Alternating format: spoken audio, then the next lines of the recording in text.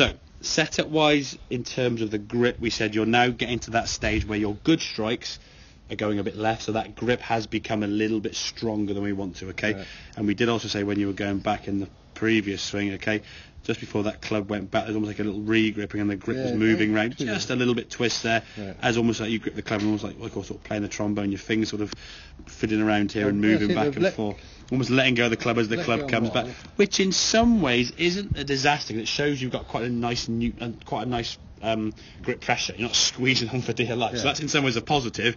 But obviously the hand being that far around, you see the shaft leaning quite a long way, kind of forward there. That de-lofts the club. And then as you went back now, bit of a slide with the hips, and then the club, as we said, now going way too far. At that position there now, you can imagine you're losing grip pressure around. There's no way your grip now is securely in the pad of that hand, is it? Yeah, Because exactly. your finger exactly it's way up here, Yeah. and that left hand's lost control. So your club now spinning around the club, maybe only three or four degrees, but as I said, if it's moving, you've got to return back to the golf ball now with some sort of adjustment, and that's going to be tough. Okay, so this one here now we talk about the good movements. Okay, so we said in practice identify good movement with that right foot staying down. So yeah, also, so your hips are rotating. That one there. There's a good one. So that right hip now we can see going back. The right shoulder now is turning back, and your next other swing can't go anywhere near as far because Right. he's staying down. Whereas we look at that one, look at that move. You watch him, he started to move. Now it's a bit more Yeah. in your exaggerate, which is fine. Okay. If we look at the good one again now, so that right foot was staying down. Get the lines out of the way. Right one was staying down, a lot shorter backswing, and then we said exaggerate the bad one. There's your bad one. Okay, so all slidey, lower half losing control there, okay, and that right foot rolling, and again it looks a lot more awkward with that right Yeah. hip, okay.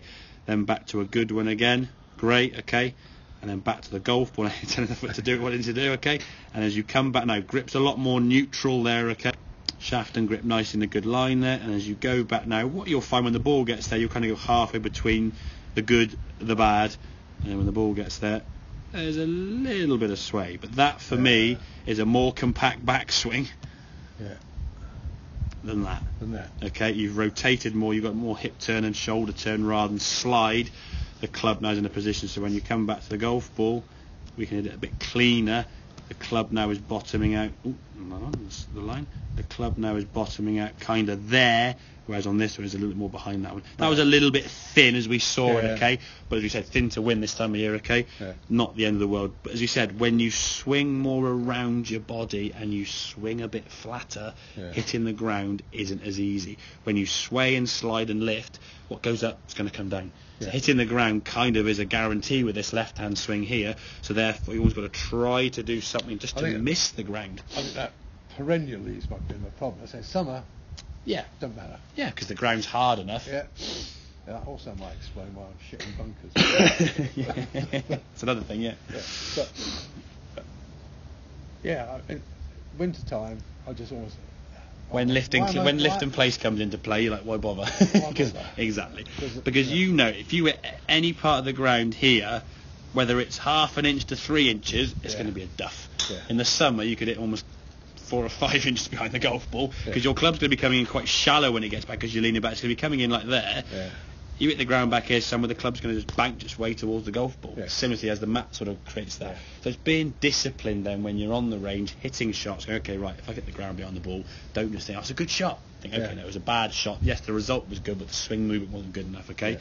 But as you said, when you swing it more smoothly, okay, when everything works more effectively together, the swing is better. Yeah. It seems slower, when in actual fact it's actually as quick as it would be normally. Yeah. Because again, nice rotation onto that left-hand side. So grip wise, pointing the club, I think we did on the first one, you know, pointing the club, where was it?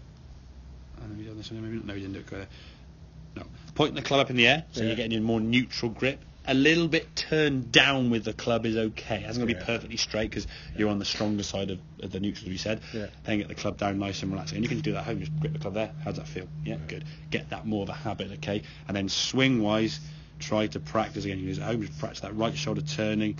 So this side of your body is going around here and Yeah. rotating. It's not sliding out to the Right.